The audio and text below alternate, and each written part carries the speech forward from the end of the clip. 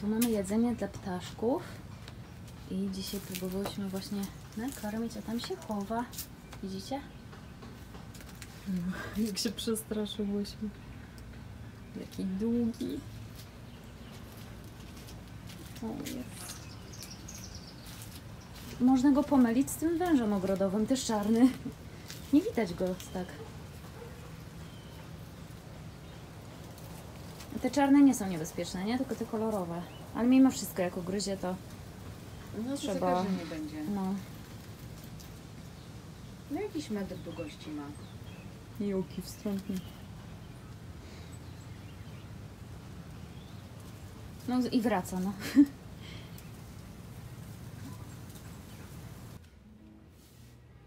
miała drzwi otwarte, by mi wszedł. Tak, bo on się boi tego ptaka. Ten, on po prostu ucieka. Ten ptak może... O, i leci. Uważaj, nie ruszaj się. O. Widzisz? Dawaj, Atakuje działaj, go. działaj. Atakuje go. Na drzewo. Przegoń gnojka. Ja muszę codziennie rano sprawdzać, co ja mam pod drzwiami.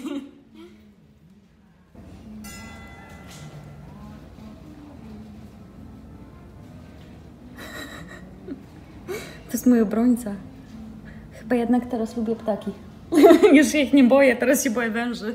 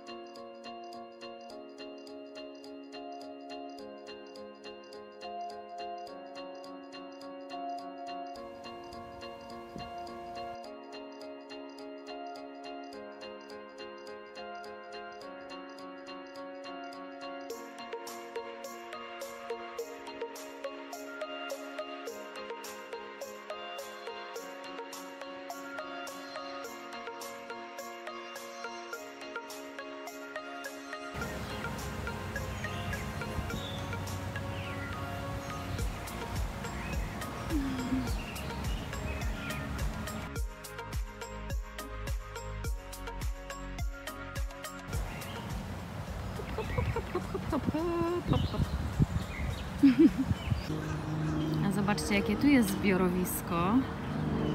Tu już się kolejne kaczki zbierają. Tutaj jest ich pełno ptaków. Niech wyraźniej karmią je e, pewnie codziennie o tej samej porze. I te ptaki wiedzą, że mają tutaj przyjecha- przylecieć. Przyjechać. Zobaczcie, ten jeden na Mercedesie. A ten szary już prawie w drzwiach. Nie mogę. Goście przyszli. Czas biesiady. Hej kochani, dzisiaj Wam pokażę Florydę z nieco innej strony niż te typowe turystyczne miejscówki. Jestem bardziej w głąb lądu, przestanę jej, żeby nie trząść.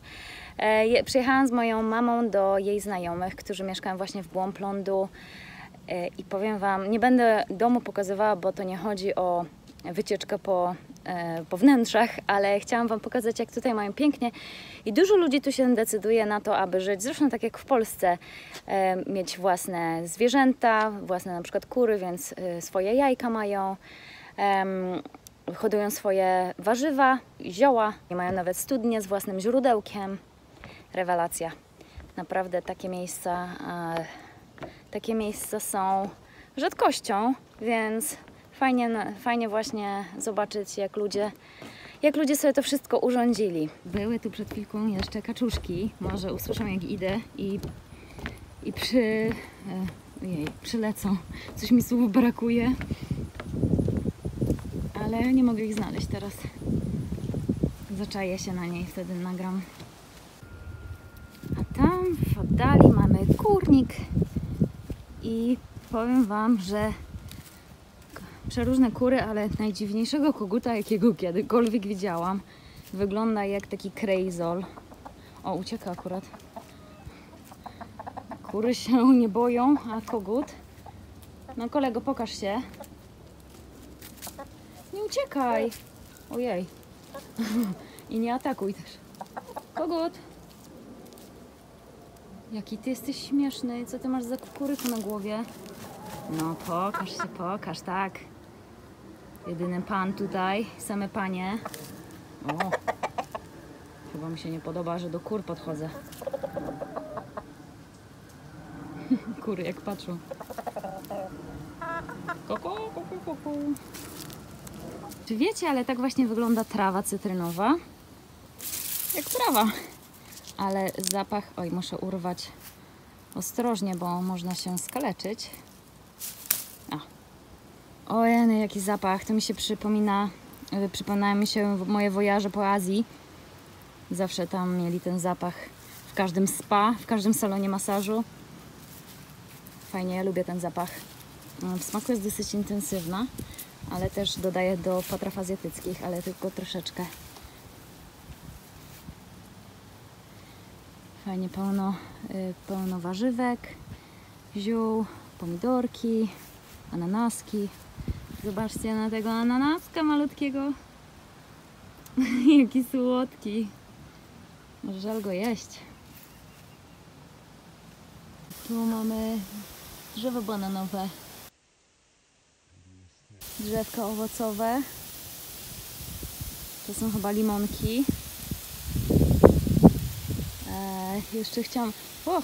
Akurat e, sprinkler system się włączył.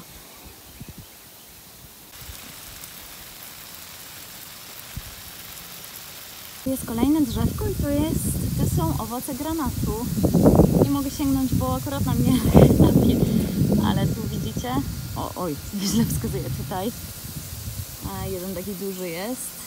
Nie wiedziałam, że drzewko granatu ma takie ładne kwiaty. Ładnie wygląda. Za dużo to tych owoców to nie utrzyma, bo owoce są dosyć ciężkie. A to drzewko jest takie wątłe. A tutaj malutki jeszcze granat. Kto lubi granat? Dla mnie to jest jeden z moich ulubionych owoców. Uwielbiam nasiona granatu i zawsze dodawałam sobie do, na śniadanie do jogurtów czy do lodów. Nie wiem, dajcie znać, czy lubicie granat. U nas w Polsce nie jest za bardzo popularny. Spójrzcie, to duże drzewo to jest morwa.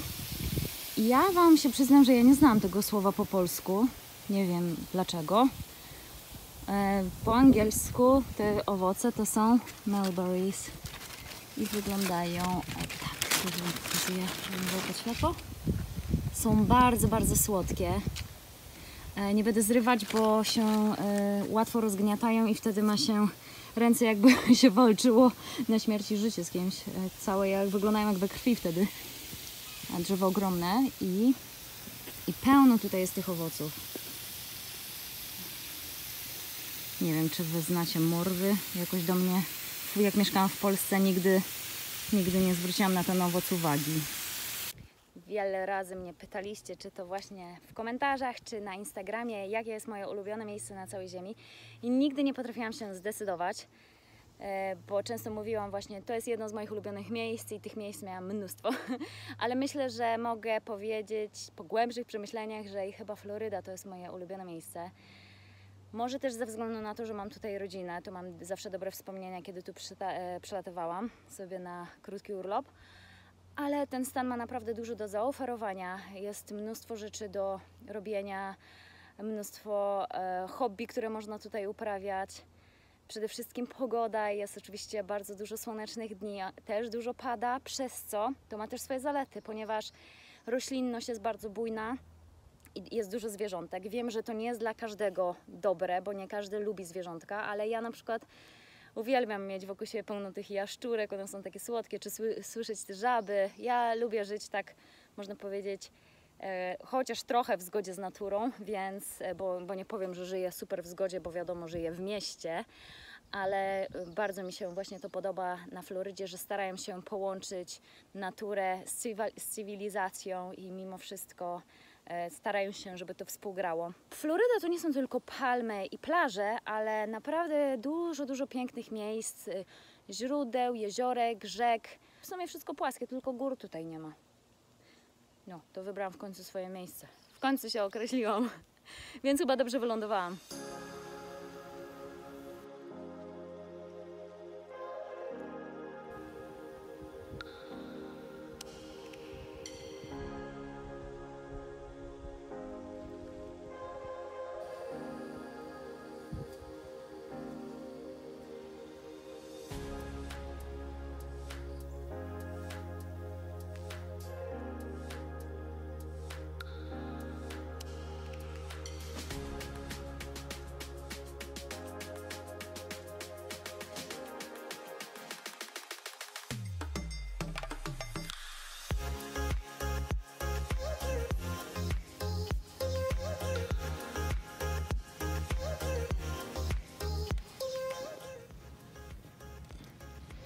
Leżąca wiewiórka, dlaczego ona tu leży?